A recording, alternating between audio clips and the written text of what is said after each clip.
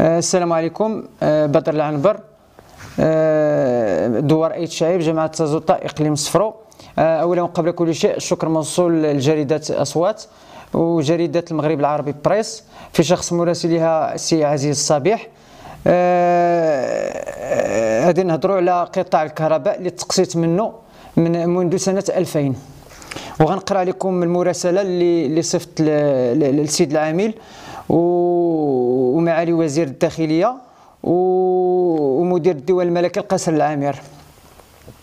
آه، يطيب لي السيد العامل المحترم ارتباطا بالموضوع اعلاه أن أتوجه إلى مقامكم العالي من أجل الاستجابة للطلب الذي آمل أن يحظى بعنايتكم حيث يتعلق الأمر بربط منزلي بشبكة الكهرباء. كسائر دوار أيت شعيب جماعة تزوطة إقليم صفرو لتجاوز المعاناة التي تعانيها أسرتي في غياب الكهرباء كوسيلة ضرورية للحياة اليومية والتي تدخل ضمن التوصيات الأولى لصاحب الجلالة الملك محمد السادس نصره الله وإياده.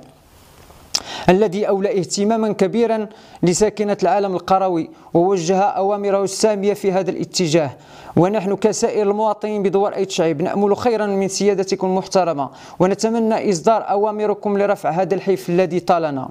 السيد العالم العامل المحترم السيد العامل المحترم في انتظار تدخلكم لرفع هذا الحيف وتمتيعنا بالحق في الكهرباء كسائر المواطنين الذين استفادوا منه منذ سنة 2000 بينما تم إقصائي من هذا الحق في ولاية من يمثل المجلس آنذاك ويمثله حاليا. رغم قلة المسافة الموجودة بين العمود الكهربائي ومنزلي الذي لا يتعدى 700 متر تقريبا.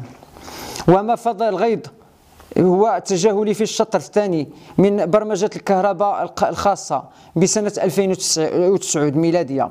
القاضي بتوسيع الشبكة بأحواز الدوار بما يناهز 32 عمود كهربائي من التوتر المتوسط.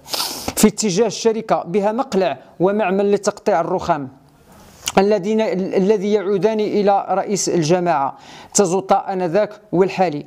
وأزيد من 80 عمود صغير منه متفرقة في المجال الغبوي للكوانين المهجورة لأغراض سياسية. وكذلك من من برنامج سنة 2016 الخاص بالشطر الثالث والقاضي بتوسيع كوانين عين الغول بنفس الدوار الذي كان من بينهم منزلي. وتفاجأنا بإلغائه وتحويل ميزانيته إلى صهريج أحد الدور المجاورة لأسباب نعتبرها سياسية. واستبداله بالطاقة الشمسية في برمجة الكهرباء القروية الشمولي التي لا ترقى إلى تطلعاتنا. كون البطارية لا تشحن في فصل الشتاء بسبب كون المنطقة جبلية باردة وبدأت تتوقف بشكل تدريجي قبل عيد الأضحى. المنصرم رغم تواصلنا بالشركة المكلفة بالصيانة إنفيرومينا كانت الإجابة قولا مرحب به بدون فعل. ومن 25 أغسطس 2023 وهي متوقفة بشكل نهائي. والهاتف النقال للشركة المحمول لا يعمل والثابت لا من مجيب رغم إخبار الجهات المعنية لكن بدون جدوى. ونفس الشيء بالنسبة لسنة 2000 ميلادية. حيث تم برم... تمت برمجة الشطر الرابع الخاص بتوسيع كوانين المجاورة المنزلي استفاد منها أصحاب الشركات المجاورة والكانون المحاد لمنزلي ببضع أمتار فقط. ولحد كتابة هذه الأسطر لم يزود منزله المهجور بالربط الكهربائي مع العلم أن منزلي شيد سنة 1987 يقطن في أبي محارب قديم أفنى عمره في صفوف القوات المسلحة الملكية منذ ارتدائه البيد العسكرية وهو في الأقاليم الجنوبية. يؤدي واجبه, واجبه دفاعا عن الوطن. لا يعقل أن يتم حرمانه من هذا الحق المشروع. إذ نكتفي بشمع تعبيرا من عن الظلم والظلام الذي طالنا.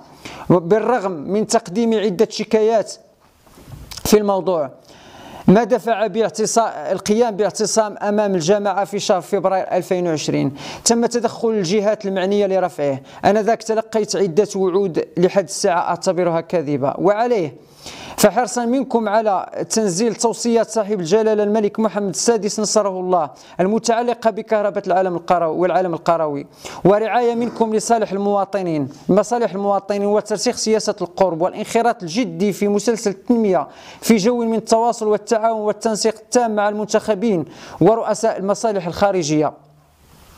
وفعالية المجتمع المدني والعمل على حسن استقبال المواطنين وتقديم الخدمات الإدارية لهم بشكل جيد والإنصات على تض... إلى تظلماتهم وشكاويهم. لهذه الأسباب نرجو منكم السيد العامل المحترم التدخل العاجل لوقف العشوائية والمزاجية التي تتبع مشاريع هذه الجامعة الجماعة عفوا. والضرب بيد من حديد على كل من سولت له نفسه التلاعب بالمصلحة العامة للمواطنين وتسييسها بشكل مفتوح.